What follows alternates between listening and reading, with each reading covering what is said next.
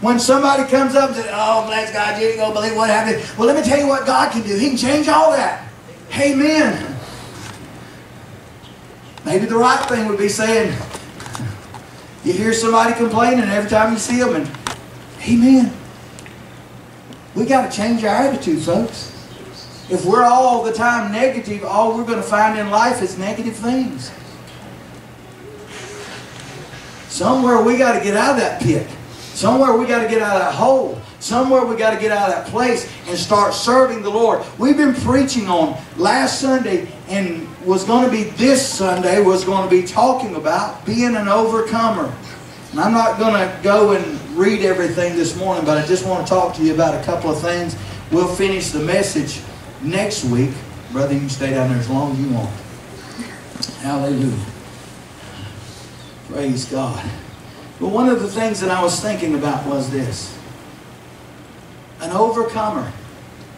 To be an overcomer, we established this last week that we have to submit ourselves to God and to resist the devil. Amen? Submitting ourselves to God and resisting the devil. God wants us to be an overcomer. Satan wants you to be taken out by the undertaker. Amen? He's got a different agenda. So God wants us to be an overcomer. That means it, it didn't mean that we're not going to go through things.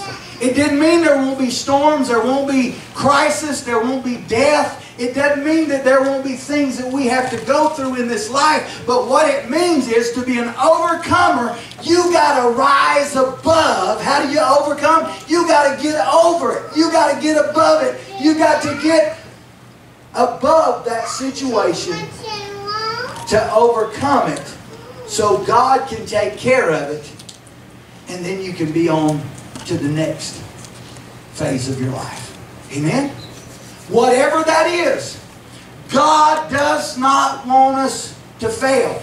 God does not want us to get defeated in the circumstances of life. And He says in His Word, the Bible says, we are overcomers by the blood of the Lamb and by the word of our testimony. That means by the blood of the Lamb, I can rise above everything this morning, church. Did you hear me? This idea. I can rise above anything through the blood of Jesus. The blood of Jesus. The blood of Jesus. What is my testimony? The blood of Jesus rising me up above things so I can tell people I made it through. Amen. Isn't that good? We didn't have to do anything. We're over there. How many times? How many times have we?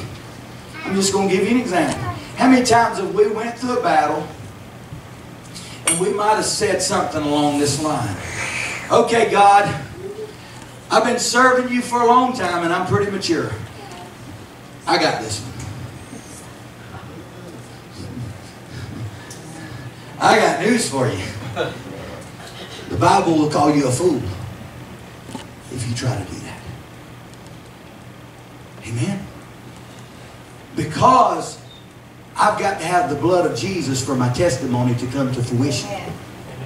My testimony used to be a prayer request that the devil said would never happen. Now I'm an overcomer by the blood of the Lamb and by the word of my testimony. Amen. Amen. When the devil comes to your house, you got to get your testimony book out and start testifying. And I want you to know he won't stay long. That's right. That's right. I don't know about anybody else, but this is a good place this morning. Can I preach a little bit?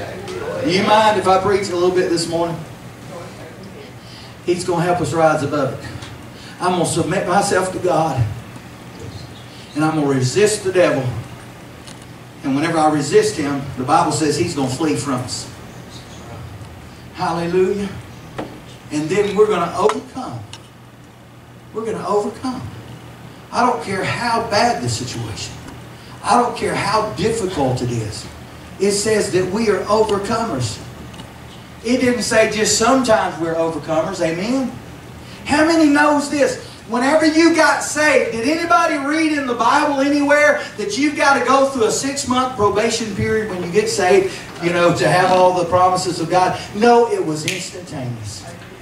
Whenever you got saved, whenever you said, Jesus, come into my heart, it was an instantaneous right then. You didn't have to wait till next week to get to get something from God, from His Word. You didn't have to for healing. Anything at that moment when you get saved, that's all you need. The blood of Jesus. And then your testimony begins. And then when you're walking, you don't have that probation period, so now and let me go ahead and just tell you this real quick. If you can think back and remember whenever you first got saved, before we got tainted by the world and what they said God couldn't do. Most of us, whenever we first got saved, believed God for more things than we ever had before. Because when we first got saved, I'm going to tell you something. Whenever I first got saved, I would pray for everything. There wasn't nothing I didn't pray about. And God would answer those prayers. There was things that God done, and it was the first part. And you know what? People would, people would tell you, you know, and I look at this so many times. You see somebody get saved. Don't they look excited? Don't they look happy? And all of us sit around and we sit here and we say, oh, they're, they're, just, they're just newly saved. Just give them a couple of months and they'll be like the rest of us. God forbid. Let us get a catch of that fire. Let us get a catch of that salvation. Let something stir our spirit one time that we can get a hold of. Something that will mean a difference. Something. Listen, folks, if we're just going to come here and we're just going to preach a message and we're just going to come in here and listen to it, not change any, we might as well take the pews out and make it a bowling alley. We could come and bowl. Just talk. Because that's what most churches today are, are social clubs. All they are is places to go and hear about somebody's book or hear about somebody else or what somebody else is doing. Can I tell you this? When we get our eyes off of one another and get our eyes off of man and get our eyes back on God, then we'll begin to see the supernatural begin to happen. Because listen, I, I can only bring the natural. You can only bring the natural. All we can do, this is the natural. We can bring it. I can't bring anything else except this natural. But whenever I walk into this building, somehow, if God comes in and touches me, He brings the super. And it becomes the supernatural. If we don't have God, all we're doing is natural things in here this morning.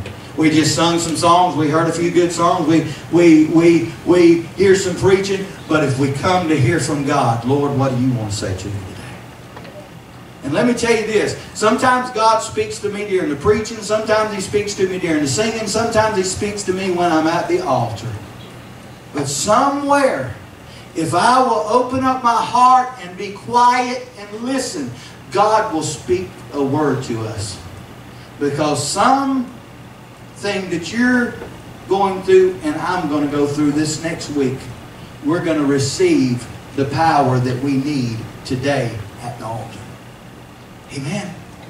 God knows what we need even before we get to it. And can I tell you this? We know that God is all knowing, but it makes Him feel great when His children spend time with Him. Yes. When we pray when we read the Word, when we get alone, we spend time with God.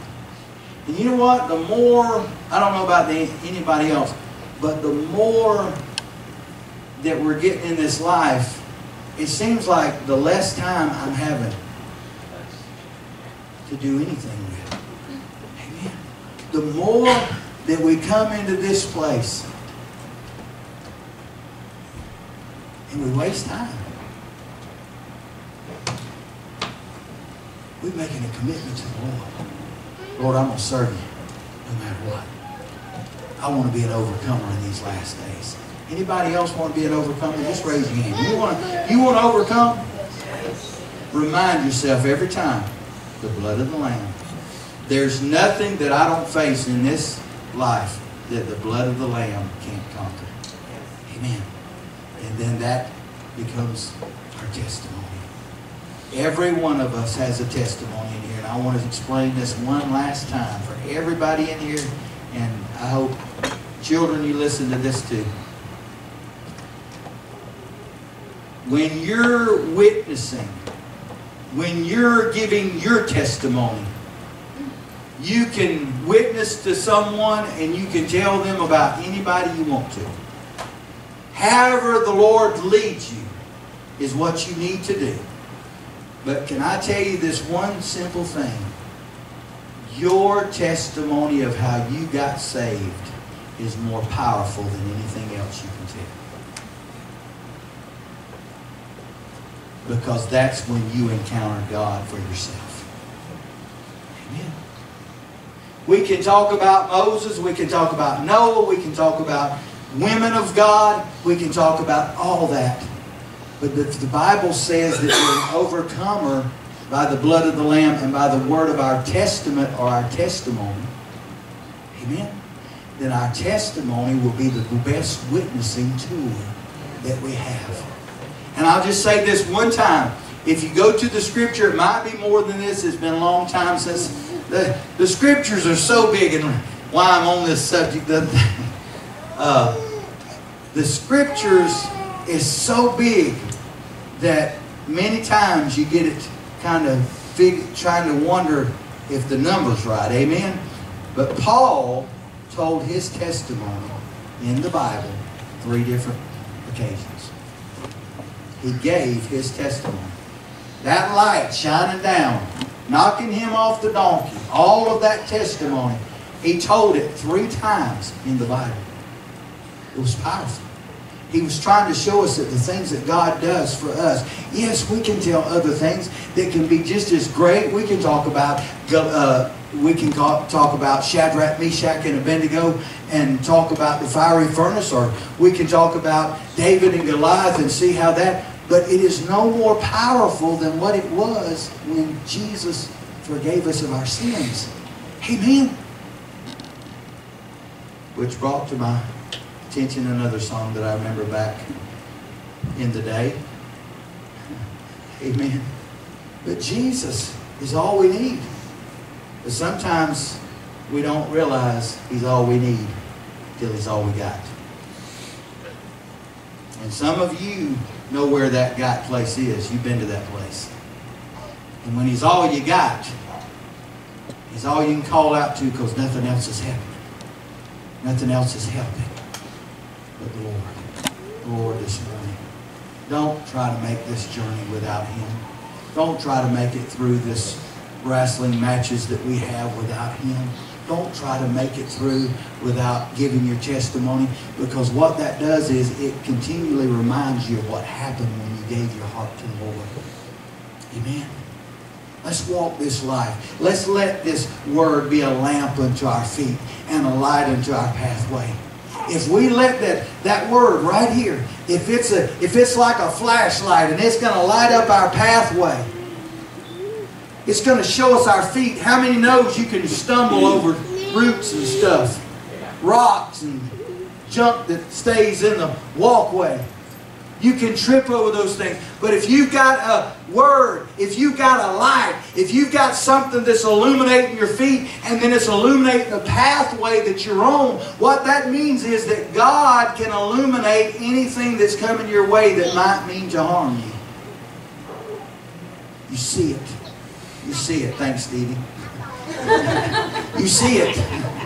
Amen. Praise God. But God has given us this word to be a lamp unto our feet and a light unto our path. You know what else is that this, and always remember, there's another scripture that I remember, and this is this. That we would hide this word in our heart that we might not sin against God. Hide this word in our heart that we might not sin against God. Amen? Praise God. That lamp unto our feet, that light unto our pathway.